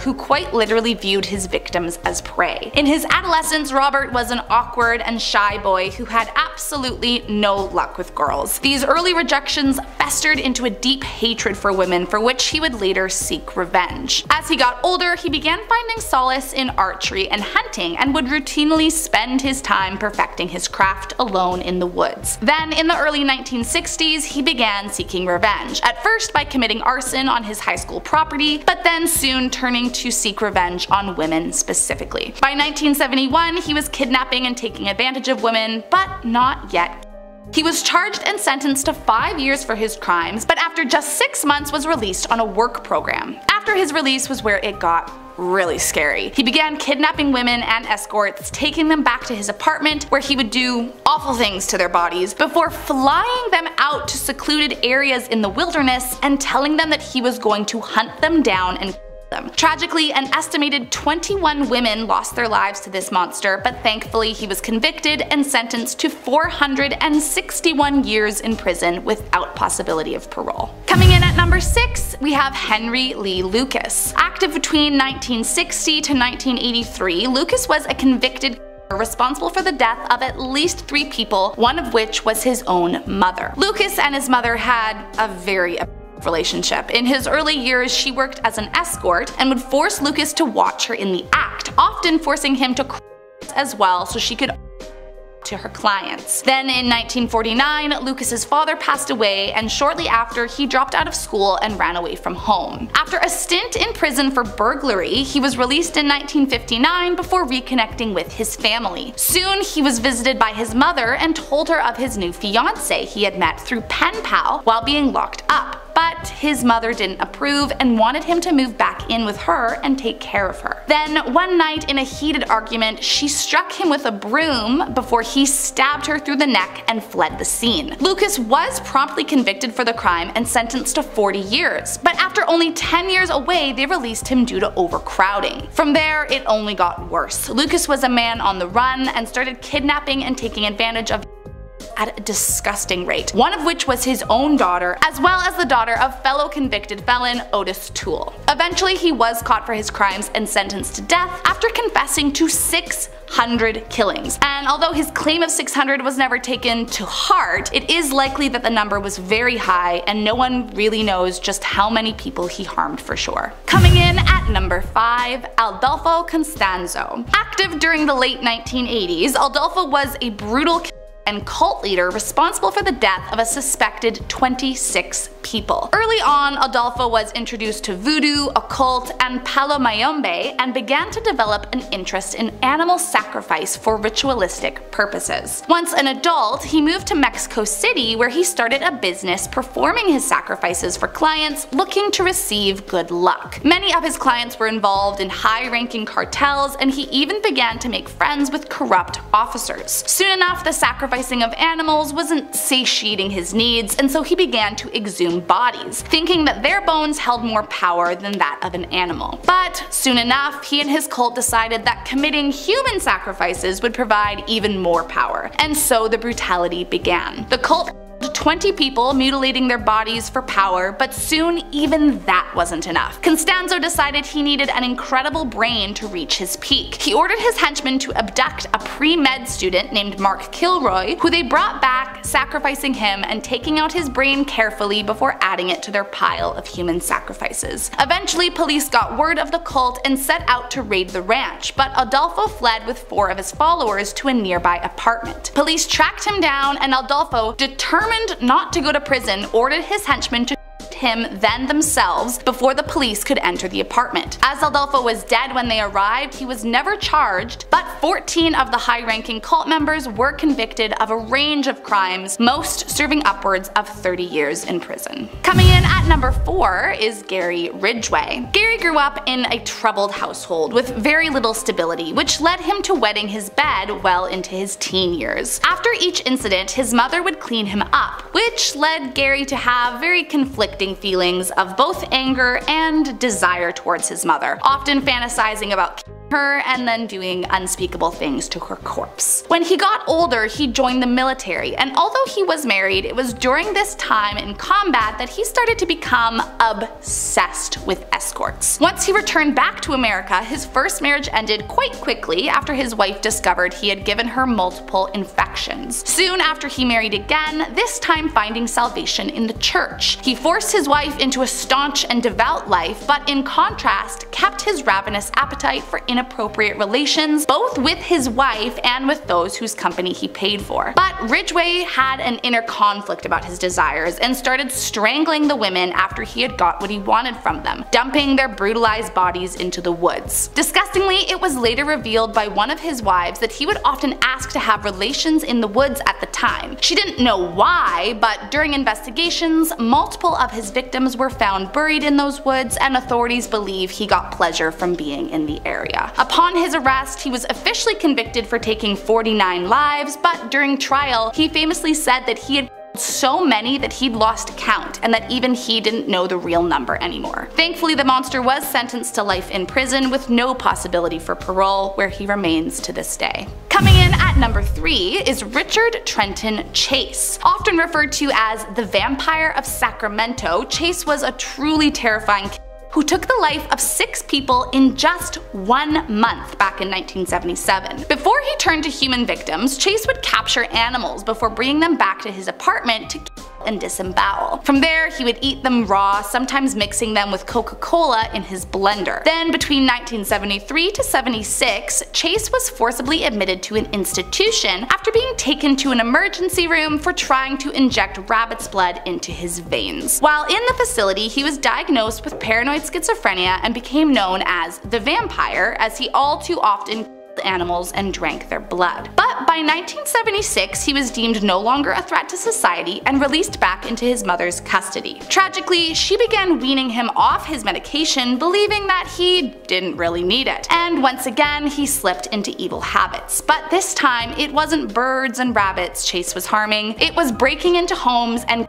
people before treating them just as he did his animals. Eventually he was put on trial for his six victims and a jury ruled him guilty, rejecting the defense's attempt that he could not be tried due to insanity. Chase was sentenced to death but ended up taking his own life while behind bars before his execution. Coming in at number 2 is Ed Gein. Also known as the Butcher of Plainfield, this monster was a and body snatcher between 1947 to 1957. Gein grew up very religious. His mother was a devout Lutheran who taught her sons that women were inherently promiscuous and instruments of the devil. Gein became very attached to his mother, a little too much, and after his father and brother both died, she was all he had left. Gein became his mother's primary caregiver after she had a stroke, and then when she died in 1945, something snapped and he became a different person. He began to visit graveyards at night, digging up middle-aged women that had similarities to his deceased mother. He'd then bring the bodies home before mutilating them, using their skin to make covers for his furniture, masks out of their faces, or using the bones for decoration and dishes. Even creepier was when he began creating an entire woman suit from various different exhumed bodies as he wanted to be able to become his mother and literally be in her skin. After exhuming dead bodies began to feel dull, he started to the victims himself. Two women lost their lives in his hands, both of which were found scattered across his property as furniture pieces, almost as if they were some prized hunting trophy. After his horror house was found by authorities in 1957, he was deemed legally insane and unfit for trial. He spent the rest of his life in an institution for the criminally insane until his death in 1984. And last up today, we have Jim Jones. If you've ever heard of the term drinking the Kool-Aid, this man is why. Growing up, Jones's family life was difficult. His father was a disabled war vet, frequently in and out of hospital, and his mother was all round just neglectful. So Jones was pretty much left to his own devices. Looking for a family, he began to develop a community at his local church, but sadly it turned into a much darker obsession. Soon he began to study and idealize fascists and communist leaders and dreamed of becoming a preacher just like them. As an adult, he worked as a minister and began claiming to have psychic powers, as well as an ability to heal the wounded and sick, until eventually he started his own religion, the People's Temple. Sadly, he became drunk on power, and next thing you know, he was calling himself a prophet and began hoarding the cult members' money for his own gain. By 1977, he immigrated the community to Guyana to live as a commune called Jonestown. But after Congressman Ryan got hint of what was really going on down there, he went to investigate allegations of human rights abuse. The congressman ended up taking members from the cult who expressed their desire to leave. But Jones did not take kindly to this and ordered his henchmen to Ryan and his party. But after he got word that not everyone was taken out, he became afraid that the military would come down and shut down his entire operation. So he ordered that all members take their own lives as an act of revolution. Tragically, all 909 members, many of which were minors, were forced to take their own life with a mix of flavor aid and cyanide. All those that didn't go down willingly were given an injection. Prior to September of 2001, it was the greatest deliberate loss of American civilian life. Starting off in our number 10 spot, we have Darren Deon Vann. Back in 2014, Darren Deon Vann was arrested after he was charged with taking the life of a woman. After his arrest, however, the true extent of his crimes would come to light when he suddenly confessed to taking the lives of at least six others that authorities hadn't previously known about. The story of Darren and his arrest starts back in 2009 when he was convicted of a horrible crime in Texas. He served five years for this crime before being released and heading back to his home state of Indiana in July of 2013. Once here is when he committed the horrific crime he would again be arrested for when he took the life of 19-year-old Afrikka Hardy. He left her in a motel room but what he didn't know is that the surveillance cameras caught him and placed him at the scene of the crime,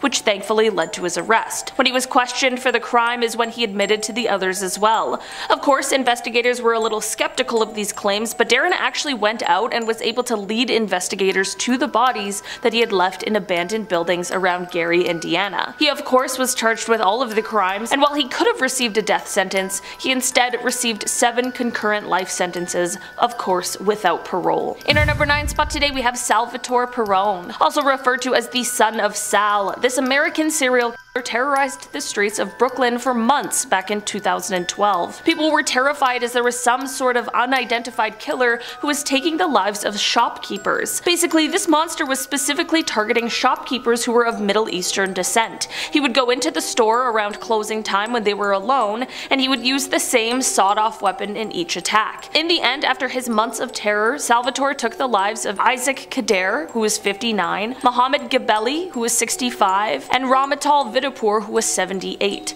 After someone was thankfully able to identify Salvatore based off of a photo that authorities were circulating, they were able to obtain a warrant to search his girlfriend's home. Here, they found a duffel bag that he actually had with him in the photo that was used to identify him, and in the bag were two weapons, and through ballistic and blood testing, experts were able to tie these weapons to the cases. Although Salvatore was never charged with hate crimes, he was charged with the three killings, and after a very tumultuous trial where he continually had outbursts that claimed his innocence, it only took the jury 30 minutes to come back with a conviction. Salvatore was sentenced to the maximum sentence of 75 years to life in prison, but not before Brooklyn Supreme Court Justice Alan Morris said, You're lucky we don't have the death penalty here in New York. You would be a prime candidate. In our number 8 spot today we have Michael Madison. On July 19th, 2013, police were called to a neighborhood after there were reports of a horrible smell. Unfortunately, this investigation would turn out to yield yield horrifying results when authorities searched a garage and found a decomposing body inside. The following day, they found two more bodies, one in a backyard and the other in the basement of a house that was sitting vacant. The garage where the first body was found was leased to a man named Michael Madison, and because of this gruesome discovery,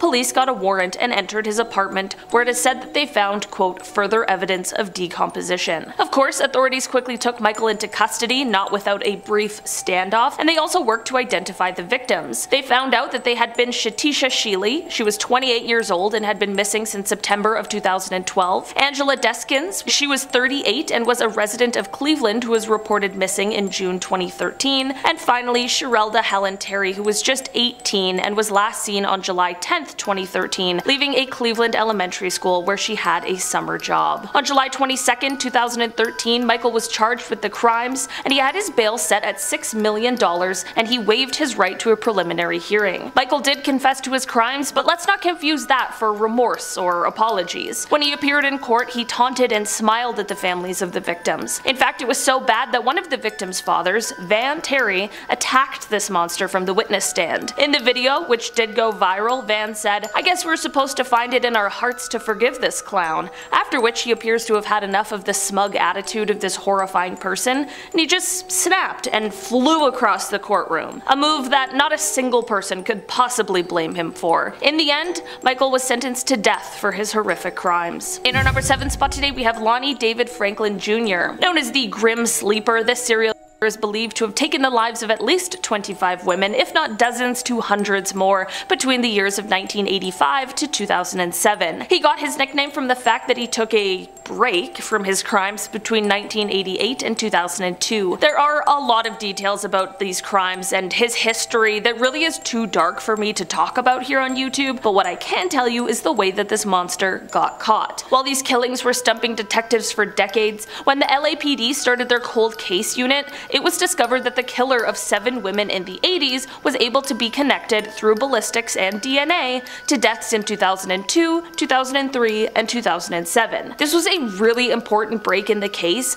but while they had the DNA, there was no match in CODIS, which is the national DNA database. Finally, however, when 2010 rolled around, Lonnie was caught because his son was arrested for a completely unrelated crime, and because of this, he had to give a DNA swab. This swab, through familial DNA testing finally was the missing puzzle piece and it showed that this son was related to the killer that they were looking for. This is when detectives followed Lonnie into a pizza place. As he finished up his meal, a detective who was posing as a busboy came and collected some items like a fork, plastic cups, a plate, and a pizza slice. A few days later, DNA from these items came back as a match to the DNA found on one of the victims and they were finally able to arrest and charge Lonnie. On August 10, 2016, the Los Angeles Angeles Superior Court sentenced him to death for each of the 10 victims named in the verdict, and on March 28, 2020, Lonnie was found passed away in his cell at San Quentin State Prison. The cause of death has never officially been released. In our number 6 spot today we have Ahmad Suradji. This is the name of an Indonesian serial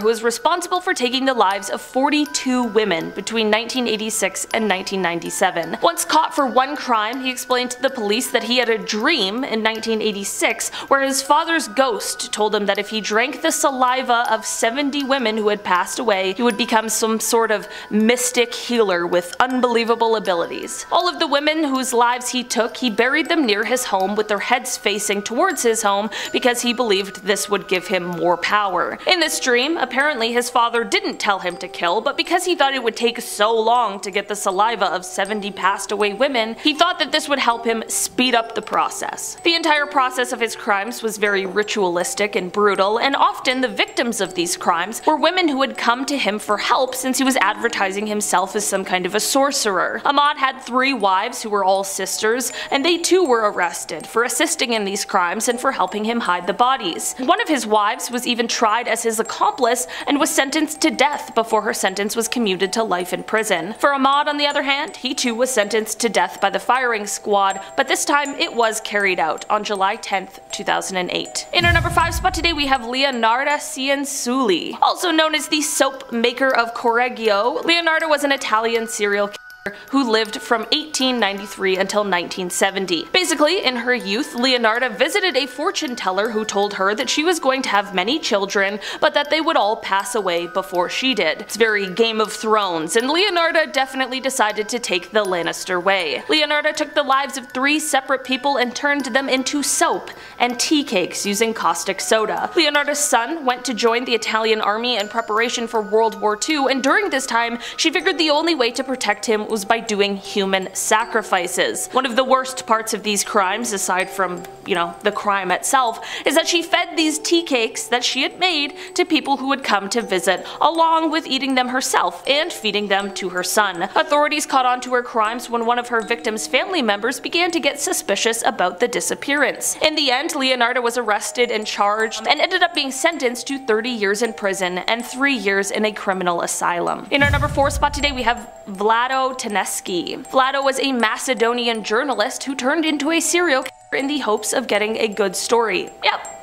absolutely wild. His crimes took place between 2005 and 2008 and it all started because he really wanted a good story and he knew that a vicious killer on the loose would entice readers more than anything and with special inside info, who would possibly have a better scoop on the story. This is what led him to these horrific crimes against three, possibly four elderly women who he took the lives of and then wrote stories about pretending as if he didn't. Sure enough, his plan did work for a while. People were raving about his reports, but it would be these reports that went on to reveal his true identity and what was really going on. He first came under suspicion after having written the three articles about the killings, and this then led to him being questioned. This is because his articles contained information that actually hadn't yet been released to the public. Like in one instance, his report included that the killer had used a telephone cord, and that this cord had been left behind at the scene, something that only authorities knew but hadn't yet made public, so of course, how could he possibly know? Finally, he was arrested on June 20th, 2008 after his DNA was able to be connected to DNA found on one of the victims. Unfortunately, Vlado wouldn't live long enough to stand trial because he decided he couldn't face the consequence of his own actions,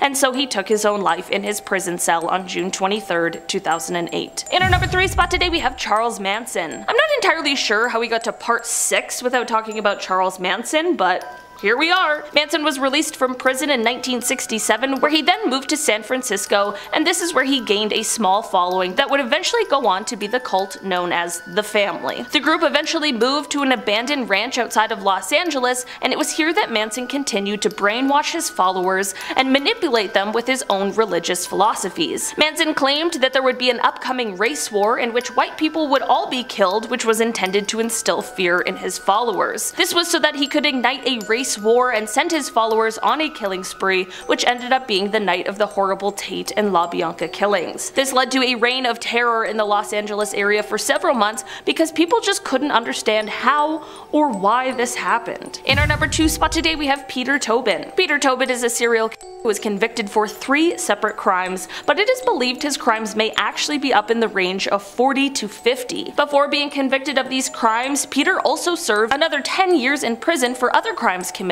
and he was released from prison for these crimes in 2004. Three years later, however, he was sentenced to life with a minimum of 21 years for taking the life of Angelika Kluk in 2006. After this, remains of two more people who went missing in 1991 were found in his former home, and he was also tried for these crimes, which ended up solidifying his sentence to a whole life order which means he will never be up for parole. There are some believe Tobin is responsible for more unsolved crimes and he has been labeled a psychopath by a senior psychologist. Apparently while in prison he has boasted about taking the lives of 48 people despite the fact that he's only officially been linked to 3. And finally in our number one spot today we have Sam Little. Sam Little is well known for being one of the worst serial ever. He has confessed to taking the lives of more than 90 people, and while authorities have only been able to definitively connect him to 30, they say that they have no reason to doubt the validity of any of his other confessions. Sam was able to continue on this horrible path for so many years because of the fact that he committed these crimes in different states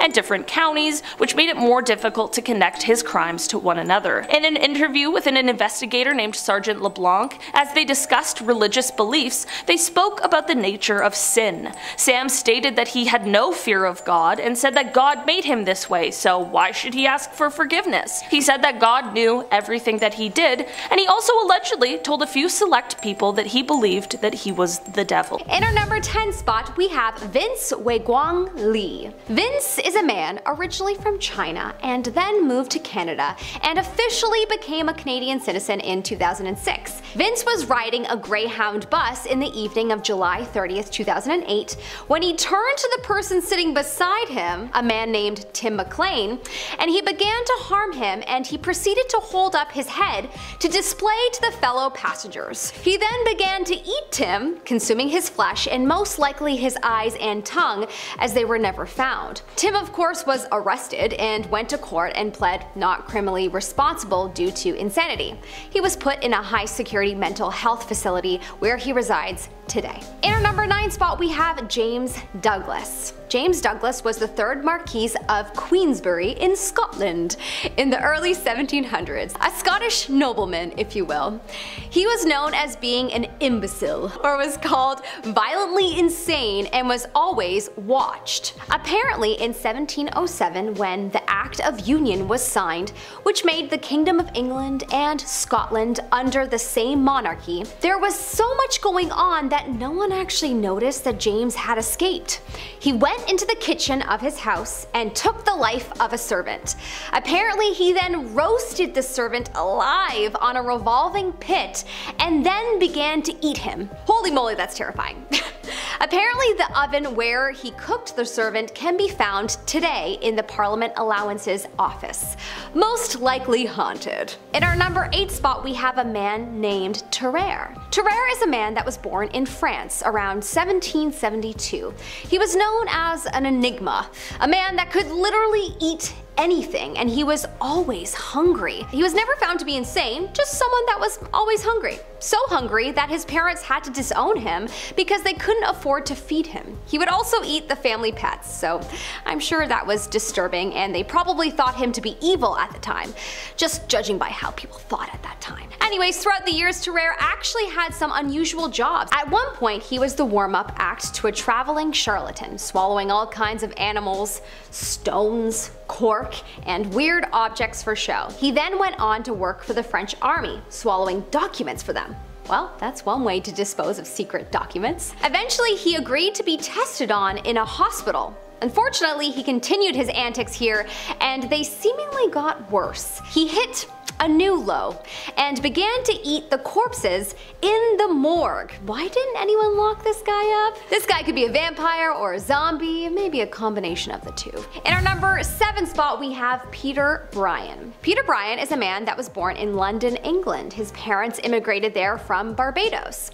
In 2004, Peter was sent to a psychiatric hospital after admitting to killing a 20 year old shop assistant named Nisha Sheth. In 1995, after being released for God knows what reason, he ate his friend Brian Cherry. Apparently, the police found him cooking a piece of Brian's brain on a frying pan. Peter admitted to eating the brain with butter and that it was really nice. He also admitted that he would have ate someone else had they not shown up, and that he wanted their souls. Ah, lovely. Definitely a real life zombie. He was of course never released again. You would think that they would never release a killer in the first place, but alas, humans never fail to surprise me. Coming up in our number 6 spot we have Jarno Elge. Now I may be pronouncing this wrong because this is a Finnish name, but bear with me. Jarno Elge was born in Finland in 1975 and apparently he always had a long history of violence towards animals. So then knowing this shouldn't surprise you to hear that in 1998, Jarno entered the house of a 23 year old man with some of his friends and proceeded to not only dissect the man, but to devour his insides. Apparently his friends were very much into Satanism, and this was supposed to be a satanic ritual. In any case, Jarno was sentenced to life in prison and his friends were sentenced to less than 10 years. So beware because these human-eating zombies could be roaming the streets of Finland today. In our number 5 spot we have Charles Domery. Charles was known as a Polish soldier who was alive between 1778 to 1800.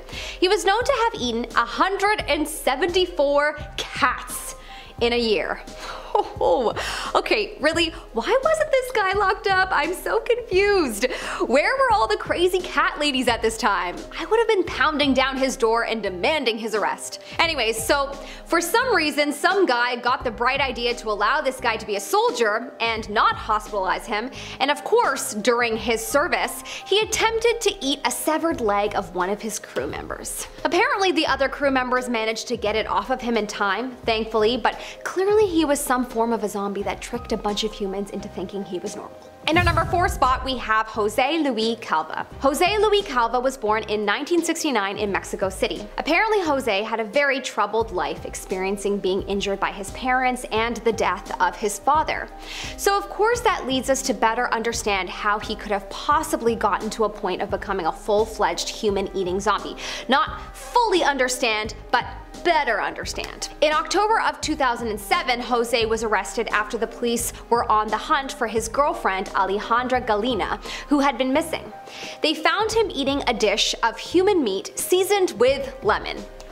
Sounds like a classy guy to me. Bad joke. Apparently they also found the body of the girlfriend in his closet. Her remains were scattered around the kitchen in cereal boxes, in the fridge, and some of her was still in the frying pan. Yikes be careful who you date. In our number 3 spot we have Yoo Young Chul. Yoo is known for being a South Korean serial killer and a self-confessed human eater. He lived in poverty growing up being the product of an unexpected and unwanted pregnancy. Apparently between the time of 2003 to 2004, Yoo killed 21 people. He would take their lives and then he would eat their raw flesh and livers.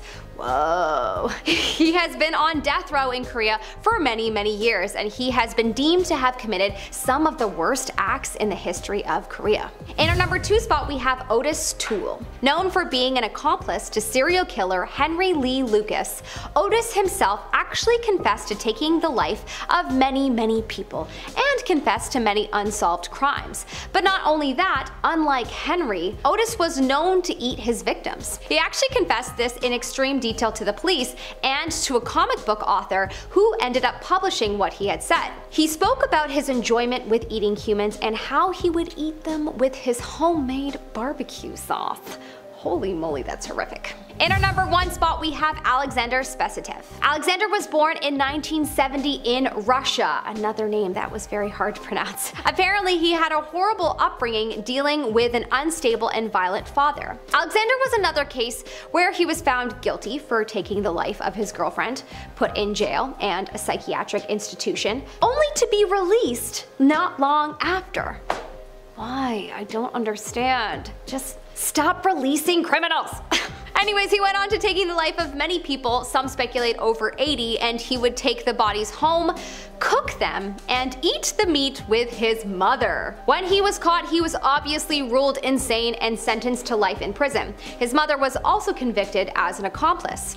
A mother-son human-eating duo. Just terrifying. Starting off this list in our number 10 spot we have Nero. To start off this list we are going to be taking it back all the way to the age of the Roman Empire. When we think back to these times they weren't necessarily the most kind, peaceful of times, but there certainly are some characters that stand out as being particularly brutal, and one of those is Nero. Throughout his reign he wreaked havoc on the Roman Empire, he burned cities, he killed thousands of people including every member of his own family, and I mean we know the inventive execution methods of the past, so you can probably guess at just how brutal these all were. Most Roman sources give us an almost completely negative review of him in reference to both his personality and his reign as a leader. He was called compulsive and corrupt, and it is believed that he is actually to blame for the great fire that burned Rome, but instead he used the Christians as a scapegoat so that they would receive punishments rather than him. Real stand-up guy. In the end, after being declared a public enemy by the Roman Senate and realizing that the rebellion would be lost, he ended up taking his own life at the age of 30. In our number 9 spot today we have Robert Pickton. This horrible person is one of the worst Canadians to have ever lived and is one of our country's worst serial killers ever. Pickton dropped out of school and began working at his family's pig farm and this is where most of his absolutely horrific crimes took place. He was first arrested in 2002 and was convicted in 2007 of taking the lives of six people, but throughout an extremely lengthy investigation evidence of many more killings came to light. During his time in jail, an undercover police officer posed as his cellmate and Pickton confessed to 49 crimes to him. Apparently, he was saying to the undercover officer that he wanted to take one more life to make it an even 50 and that he only got caught because he was sloppy. The entire trial was a bit of a mess, but it did lead to a life sentence without the possibility of parole for 25 years, which was the longest possible sentence under Canadian law at the time. This unfortunately does mean that he will be eligible for parole within the next decade, which is a terrifying thought, but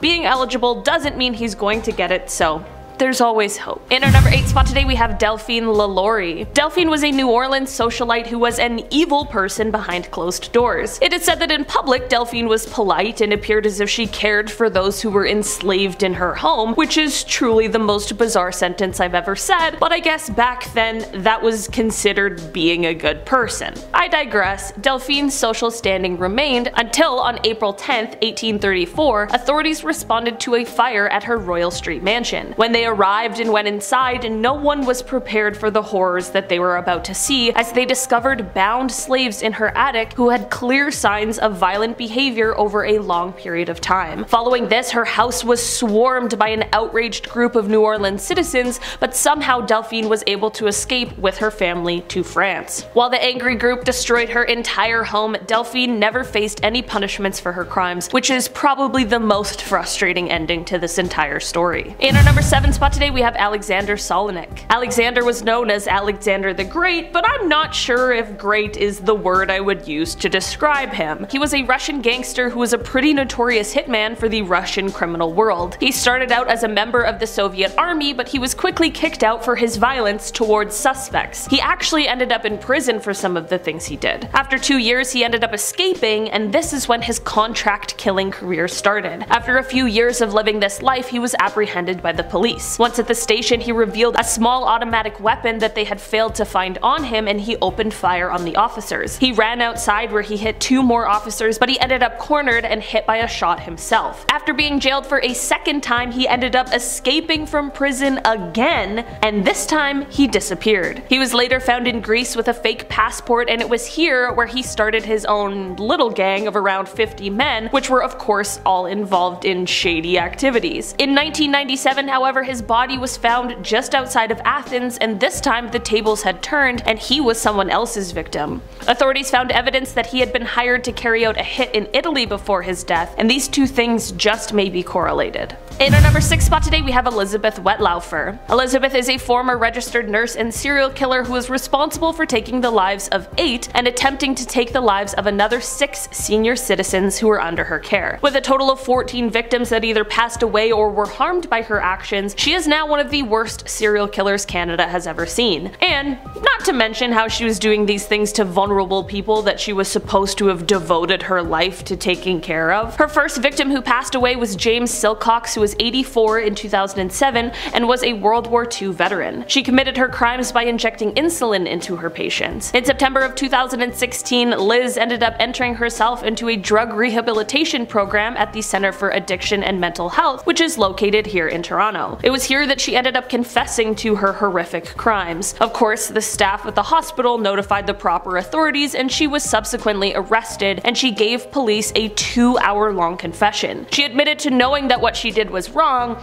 but she said she just had urges she couldn't control. She stated that quote, God or the devil or whatever wanted me to do it. In the end she was sentenced to life in prison but because of the way that the Canadian system works, at some point she will be eligible for parole. In our number 5 spot today we have Pedro Lopez. Pedro is a man who lived a life committing some of the most horrific crimes I've ever even heard of throughout South America in the 1970s. By the time the 1980s rolled around he made a mistake during one of his awful crimes and this led to his arrest. Once in police custody he began to basically explain his entire life story and he confessed to an astronomical amount of crimes. People were a little skeptical of just how many crimes he said he committed, but Pedro was able to lead them to a mass grave where they recovered a total of 53 people's remains. Pedro of course went to jail, but get this, he was somehow released in 1994. I'm like, great, just before I was born. Nice. He wasn't sent home straight away and instead was sent to some sort of mental institution for three years, but he was also released from there. Okay, so aside from the crimes he committed, are you ready for the worst part? In 2002, he was suspected of being the perpetrator of a new crime, but no one has been able to find him since 1998. Yeah, he disappeared. Awesome. In our number 4 spot today we have Ilsa Koch. Ilsa is a war criminal who oversaw concentration camps that were run by her husband, Carl Otto Koch. She is well known due to her sadistic and brutal treatment of prisoners, and she became one of the first well-known people that committed these types of crimes to be tried by the US military. It is said that those being held at the camps with distinctive tattoos, Ilsa would take a piece of their skin as souvenirs. When being charged with her crimes, they included things like private enrichment, embezzlement, as well as taking the lives of some prisoners to prevent them from testifying. In the original trial, she was acquitted for lack of evidence, although her husband was sentenced to death by an SS court in Munich. After a few more trials, however, she ended up being sentenced to life in prison, and despite multiple appeal attempts, she was never released. In our number 3 spot today we have Joseph Stalin. Stalin was a Georgian revolutionary and Soviet political leader who governed the Soviet Union from 1922 until his death in 1953. Despite the fact that he started his time governing the country as part of a collective leadership, by the 1930s he had consolidated all of the power and went on to begin acting as the Soviet Union's dictator. During his reign, Stalin was responsible for the deaths of over 60 million people, 20 million of them being his own. Apparently the math works out to be about 40,000 people per week, which is truly unbelievable. It is worth noting, especially since this list is about people who were born evil, that there were good things that he did at some point or another. I mean Stalin's forces did start out as an Axis power in World War II and he did help us out a great deal and helped to bring down you know who, but in the end that good can't eliminate the harm that he did. Also, before he was in power, it is said that as a young man he was a robber and an assassin. For almost 30 years he reigned the Soviet Union with terror and violence. I mean his decisions led to a famine that killed millions of people alone. Also the lives he took weren't just of enemies. I mean how could one person have 60 million enemies? He would take the lives of the families of people he liked. He just took too many lives, was too paranoid, and while he was powerful and smart, he was also an absolute monster. This is all perfectly summed up when he said, quote, one death is a tragedy, a million deaths is simply a statistic. In our number 2 spot today we have Pol Pot. Pol Pot was the leader of the Cambodian revolutionary group called the Khmer Rouge, and this group, with him at the forefront, went on to try and destroy Cambodian civilization. This wasn't necessarily how the group started out, but once Pol and others who shared his ideas came to lead it, things quickly became dark. He is likely one of the only people who ordered a mass genocide in his own country. The reasoning behind all of this is because he believed that destroying the civilization was the best way to start a new regime and bring in a new age. He ended up serving as the prime minister from 1976 until 1979, during which his policies led to the deaths of around 2 million people, which is horrifying. That was about 25% of the entire population. He even liked to keep the skulls of those he had killed. I'm just gonna say, it seems as though politics was the mask for someone who just really wanted to kill. There are so many horrific details surrounding him and the things he did, some of which I can't even repeat here on YouTube, and that is exactly how he landed a spot here on today's list. He truly did some horrendous things and in the end went on to live the rest of his life and died of natural causes before he could answer for any of his crimes. In our number one spot today we have Heinrich Himmler. Alright, this is one real piece of work who was very active on what we'll call the bad team during World War II, and he is actually one of the people who really helped to create and build the Holocaust. He was the head of the SS and he controlled concentration camps, and you wanna know what he was best known for? His organizational skills and for picking the best subordinates. Yeah,